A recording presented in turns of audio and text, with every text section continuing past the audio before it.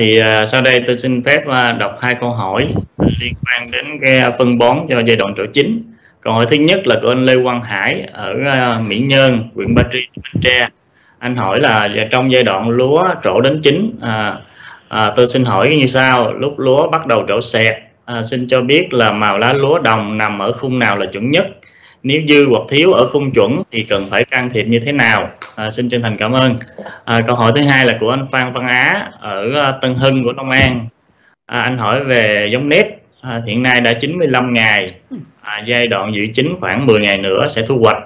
À, nhưng hiện tại giá thương lái à, giá thấp thương lái chưa à, cho cắt sớm à, cho hỏi là nếu nếp chính khoảng bao nhiêu phần trăm thì cắt được? Cách nhìn như thế nào để đón đúng thời điểm thu hoạch? Hai câu này à, xin à, mời à, phó giáo sư tiến sĩ Mai Thành Phụng tư vấn cho anh ạ. Dạ cảm ơn Huy. Trước tiên trả lời cho anh Phan Văn Á. À, xin lỗi, trước tiên là xin trả lời cho chỗ anh Lê Quang Hải ở Ba Tri, bánh Bến Tre. À, câu hỏi rất là hay. Trong giai đoạn mà lúa trổ đó thì cái màu lá lúa thì như thế nào? Thì đây xin phép với bà con là xin bà con nhớ lại cái bài giảng là cây lúa lúa xạ đó thì nó theo quy luật hai xanh hai vàng. Đó, tức là chúng ta mới bắt đầu xả xuống đó, thì làm sao là trong vòng mấy ngày đầu lúa nó phải mọc lên được màu xanh. Với xả xuống rồi mà nó màu xanh không nhú lên, mà cái lúa nó sẽ, nó èo ọt, nó chết là trật. Cái cái màu xanh này nó sẽ kéo dài cho tới cuối cái để nhánh hữu hiệu, tức là khoảng 30 ngày. Rồi cuối để nhánh hữu hiệu đó mình phải cắt nước đi rồi mình làm sao đó cho nó từ từ nó chuyển từ xanh đậm sang xanh lợt, sang màu vàng. Và như vậy tới lúc cây lúa đứng cái làm đồng đó, thì làm sao chúng ta điều khiển cho nó chuyển sang được màu vàng. Cái đó gọi là vàng một, thì mới đúng sinh lý cây lúa. Và chúng ta sẽ bón phân đóng đồng theo kỹ thuật không ngày không số. Để bà con biết rồi, đã hướng dẫn rồi. Thì khi mà mình đưa nước vô, rồi mình bón phân đóng đồng, cái lúa nó hấp thu phân bón, thì tới lúc lúa trổ, thì nó phải có màu xanh đó màu xanh đó gọi là xanh hai. Và cái than màu xanh đó tùy theo giống lúa.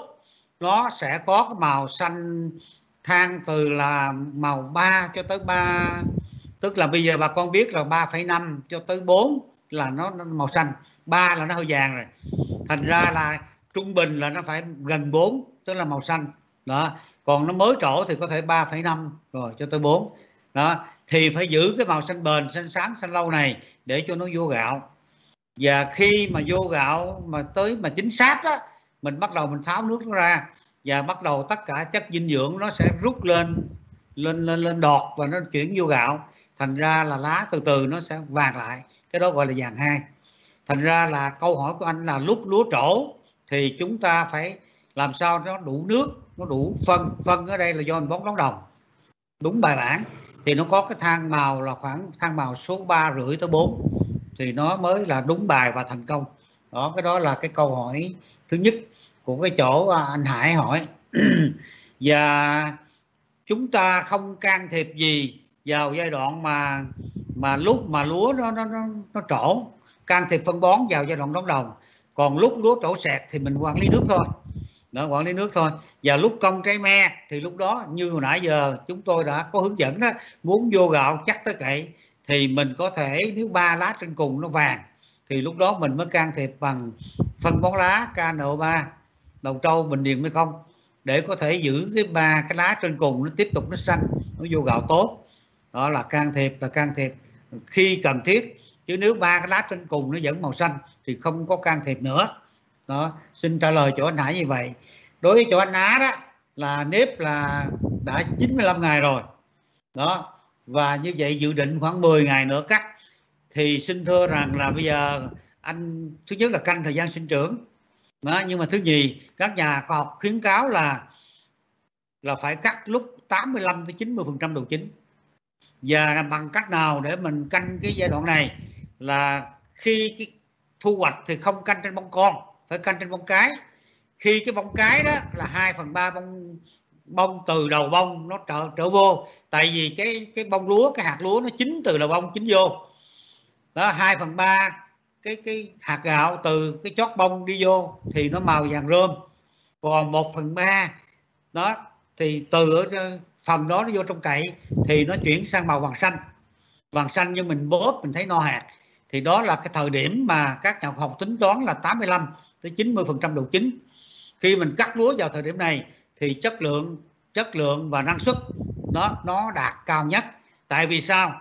Tại vì cái cây lúa nó chín từ cái hạt đầu bông chín vô. Nếu mình cắt quá sớm thì những cái hạt mà đầu bông thì nó đủ gạo, nhưng những cái hạt trong cậy nó chưa vô.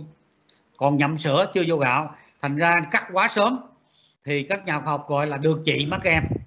Đó. Còn bây giờ nếu mà chờ nó chín ruột quá, chín nhiều quá thì hạt lúa nó chín rồi nhưng nó nằm trên bông nó vẫn hô hấp. Và nó hô hấp nó làm lửng hạt gạo nó làm gãy hạt gạo nó làm hao hụt đi. Thành ra khi mà đợi cho chín ruột những hạt ở trong cậy chín hết rồi mình mới cắt. Thì lúc đó các nhà học gọi là được em mất chị và khi cắt ra thì là năng suất và chất lượng nó bị giảm vì những cái hạt ở đầu bông chất lượng và và cái độ nguyên hạt á, độ gạo nguyên nó bị giảm đi thành ra mình phải chọn cái thời điểm là 85 tới 90 phần trăm độ chính. Và các cách nhìn là phải nhìn trên bóng cái. Đó, xin lưu ý như vậy. Cắt sớm một chút xíu là 85 phần trăm tới 90 phần trăm độ chính năng suất chất lượng cao nhất. Và cái tài của nông dân làm sao? Mình hợp đồng với máy để có thể cắt được đúng cái thời điểm đó. Và mình bảo vệ hạt lúa của mình qua bán cho thương lái hoặc mình bán, mình phơi sấy. Xin lưu ý cái vấn đề đó. Còn cái giai đoạn mà trước lúc chỗ chính này còn có 10 ngày này, thì không còn tác động nữa về mặt phân bón với thuốc bảo vệ thực vật. Chỉ có vấn đề làm sao mà rút nước ra cho đất nó khô ráo để chuẩn bị cho máy móc là vào làm việc và thúc đẩy quá trình chính. Đó là cái giải pháp thông minh nhất chúc bà con thành công.